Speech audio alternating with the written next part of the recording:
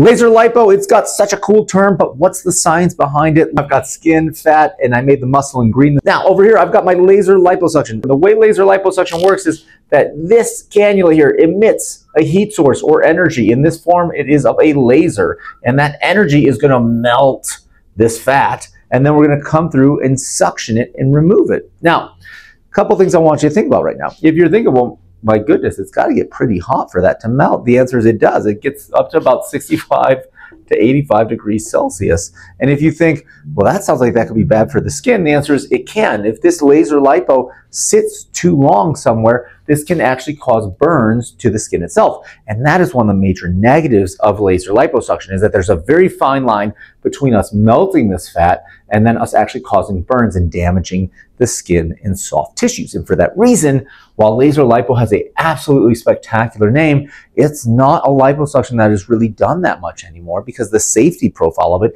is very narrow. So laser lipo, super cool step in the evolution of liposuction, not one that we practically use that much anymore.